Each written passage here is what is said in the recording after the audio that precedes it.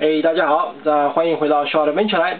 这次要跟您介绍的呢是啊，淘喜角色大黄蜂 Part Two，也就是它扫描过之后成两千零九年概念车的 Camaro Concept Bumblebee 啊。那一样的，我把这两个不同的版本呢放在这边，让您做一个观赏一下。一个是干净版，那一个是呃那个作战过之后的那个伤痕累累的版本。两个基本上来说呢，尺寸、大小、颜色、完变身过程完全是一模一样，只是说它加了一些呃 battle damage 啊。好，所以呢，我们今天就来啊就来专注这一部干净的车子，那他呢就请他先休息一下了。好。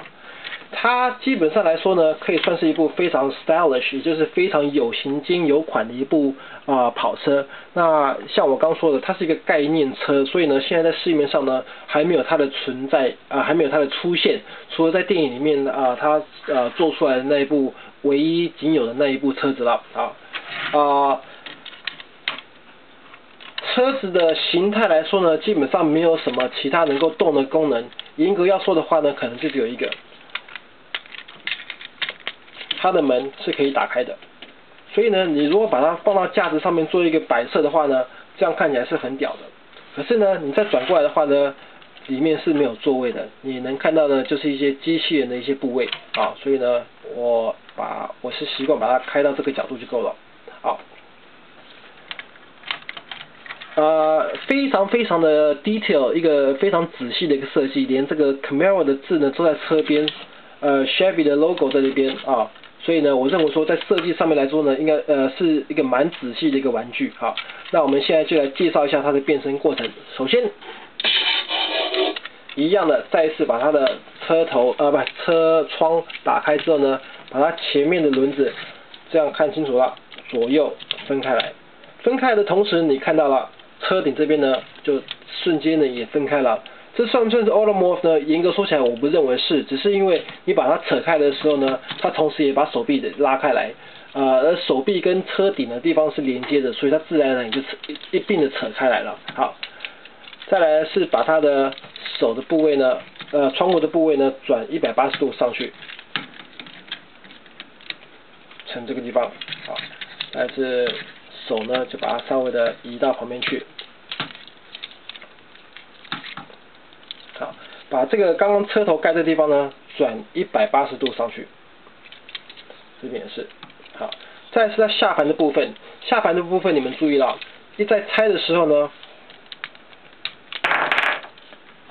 它有一个武器可以储藏在车子里面，或者应该说可以储藏在它的后行李箱里面，很屌，待会来介绍它一下。我很喜欢这支枪，是因为说它完全符合电影里面它右手能够变成那把枪的。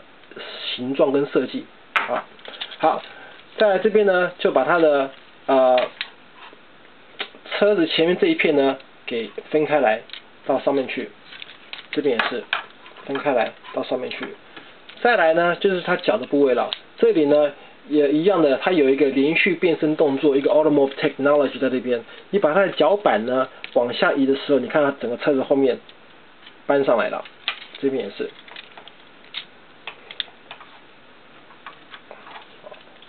再把它的脚跟稍微移下来，虽然我看不到它的作用，因为它完全是不着地的。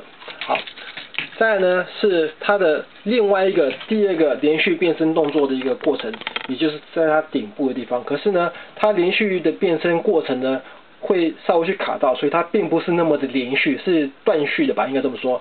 你把它的车头盖的地方呢一定要往下压，它才能搬下来。OK，再来是把它车头的地方。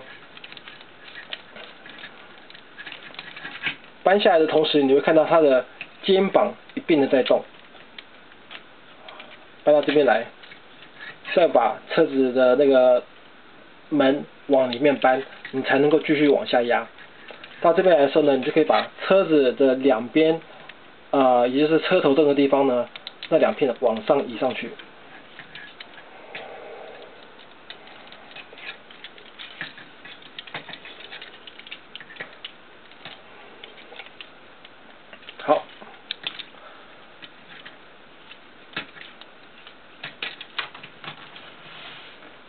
两千零九年的 Bumblebee，呃，两千零九年的 Camaro Bumblebee 呢，变身就完成了。它的造型呢，绝对绝对是比之前的那个 Bumblebee 呢强了非常多。可是就以尺寸来说呢，两个身高呢的比例呢，啊成正比，所以呢，呃，也是个人蛮喜欢的一个地方啊。可是呢，就以呃关节来说呢，它新的 Bumblebee 呢比旧的灵活很多，而且颜色呢也比它黄了一点。好，之前讲到它这把枪，好，之前讲到这把枪呢。你可以把它放到他手里，让他握着。像我之前讲过了，它非常符合电影里面出现过的那把枪的形状。OK，可是呢，这把枪不单单只是一把枪，它还有另外一个功能。可是这个功能是在电影里面没有出现过的。喜不喜欢呢？看个人而言。因为呢，一把武器里面有两种的变法，呃，当然胜过一把武器呃单单单单一个功能。你把这个枪上下分开之后呢？往里往后面推的时候，中间这个刀这个剑的部位呢会往前伸，所以它也是有一个剑在这边。OK，这也是它的一个另外一个武器。所以呢，严格说起来呢，我是非常非常喜欢这个造型，而且呢，当初呃这个玩具呢刚刚出来的时候呢，立刻被人抢空。我是等到后期，大概等了将近三个多月。呃，玩具公司重新在生产的时候呢，才有机会去把它买下来，啊，所以呢，我非常庆幸说我买了它，呃，因为它有两个不同的呃版本，所以呢，也造就说我决定说两个一起一起把它买回来。这个就是两千零九年 Chevy Camaro 的 Bumblebee 大黄蜂。